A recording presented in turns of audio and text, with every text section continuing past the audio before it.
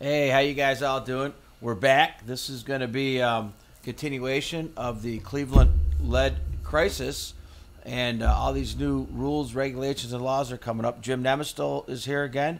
Um, if you'd like to see some previous um, videos that we've done on this, just go back. We have them, and we'll continue doing these. So today, Jim, um, we're going to talk again a little bit more about. Uh, We're talking about the proposed legislation uh, by a group called CLASH, Cleveland Lead Advocates for Safe Housing. Uh, this group is uh, uh, putting forth, uh, uh, trying to put forth a ballot initiative, and they're actually going around and collecting signatures from people from the city of Cleveland, and they want to put it on on the ballot in November. And one of the primary items on it is that if this is voted on and approved by the citizens of Cleveland, that after March 2021, uh, uh, all homes that haven't been deemed quote lead safe by the city uh, will have to start paying fines. And and as far as um, I think lead safe meaning that that doesn't mean we're getting rid of all our wood siding and our windows. That means we're going to get rid of the lead dust, lead safe, and maybe passing a clearance test. But there's a problem with this lead safe thing because let's say you pass lead safe uh, in 2020, um, and and then all of a sudden, you know, somebody opens two windows, and all of a sudden you generate friction. It's not lead safe anymore because the dust in the window well and trough is is going to poison the kid again. So this whole lead safe thing is a temporary thing. Most homes in Cleveland are what ni- ni- 80, 90, 100 years old. A lot of them, they're all pre 1978 for sure. And and to make them lead safe, you'd have to abate the lead. So if they were to abate the lead, I see this working, but not the lead safe. All these homes are going to spend all this money, and if they don't continue on, you know, uh, with, with, with um, maintenance uh, and cleaning, then they're not going to be lead safe. Does that make? Does that kind of? yeah, what- well, if, if they if they if they if they're uh, deemed lead safe, given a certificate lead safe, they said it's going to last for 20 years. It's good for 20 years. And as you pointed out, if there's old windows on it that have been painted, you know, uh, in, in two years, you're going to have that, that paint peeling off again. But and but the landlord's going to say it's it's lead safe. So Or the Oh, ice dam, right? The ice dam. The peel, the paint starts peeling after the ice dam the next winter. Oh, the icicles, yeah. Yeah, across the- okay. well, I guess the point of uh, the, uh, of the argument is that having it done by 2021 is is uh, uh, it isn't going to work. Okay, it's it's a much too short time frame. Also, the way that they're stating that you're going to have fines. Why should you fine fine people uh, for if they can't get their house inspected or they they can't afford to have the uh, have the house repaired? So you're gonna, but wait a minute, wait a minute.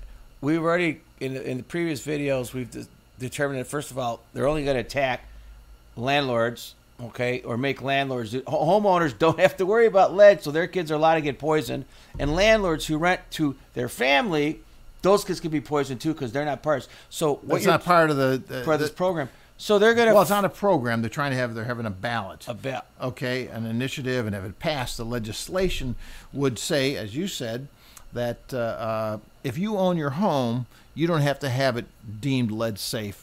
You could still rent it to your kids. It okay? sounds like landlords are bad people.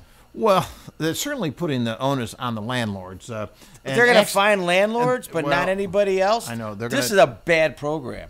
But by the way, Jimmy, it can't get on a ballot. Don't they have to get some signatures? five thousand signatures. They're going to get that, aren't That's they? not that's not a lot. And so the city of Yeah. people in the city of Cleveland have to realize there's a lead problem, but there's a better way to do it, as then suggested on the the this uh, ballot initiative that they're tr- they're trying to Did- get going. They're going to double the they're going to double the rental fees for, again for the landlords. Okay, the landlords seem to are they responsible for all the lead poisoning?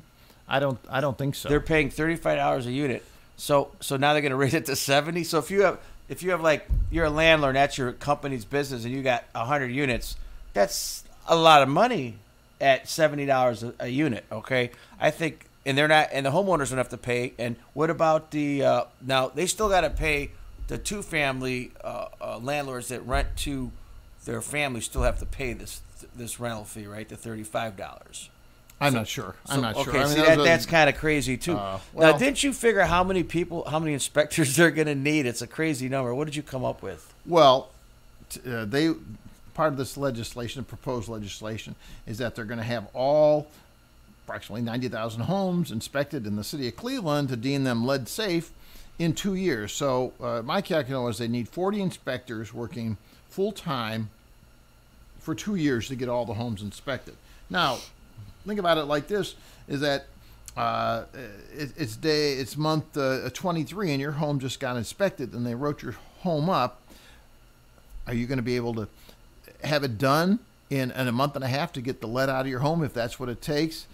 I don't think so. Again, time frames very very short for this. Uh, uh, it's not going to work, and it's uh, it's doomed to failure. And I uh, I hope I hope it doesn't pass because we need to do something about the lead. This isn't just the right way to do about it. These forty inspectors. First of all, state of Ohio, uh, there's a law that you can't inspect for lead unless you have a lead assessors or lead inspectors license. Which you know what that means? That's a five day class. And you know what? You got to go through five days of a class, and you got to pass tests, right? And it's going to cost somebody eight hundred dollars, and then you got to pay a licensing fee.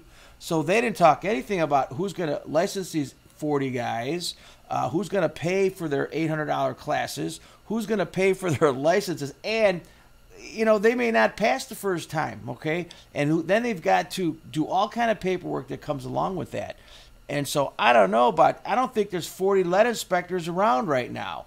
And the ones that are doing it aren't certainly aren't going to join in here because you just said I think in your numbers you want to pay these guys it's two million dollars per year, right? 40 inspectors, and that's uh, 50,000. That's that's paying the inspectors 15 bucks an hour, which is I'm not saying that's bad money, but certainly it, it's it's not great money, and so you have to find people to work for 15 dollars an hour, and do professional type work because lead assessors is is is uh, um, something that you need to be licensed for and educated for.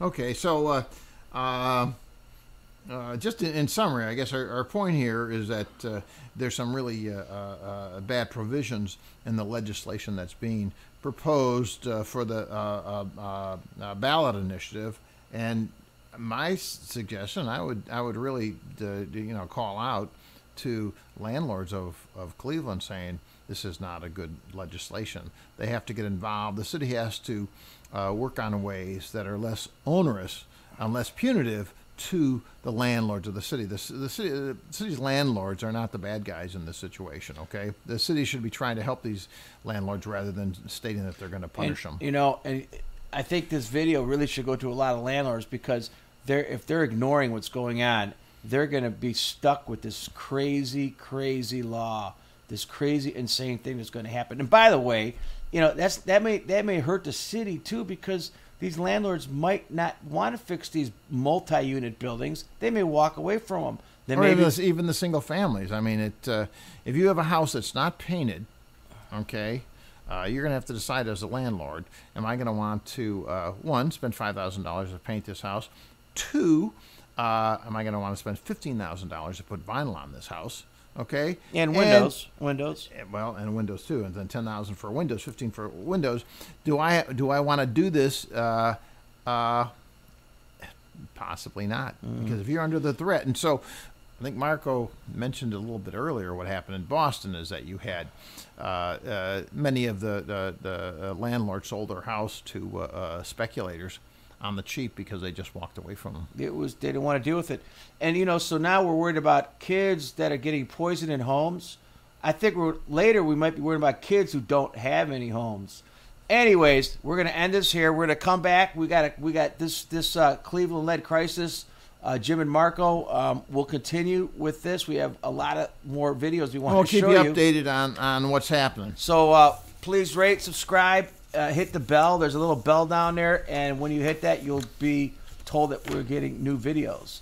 So uh, thanks for coming on. You guys have a great weekend, and um, thank you. Good evening.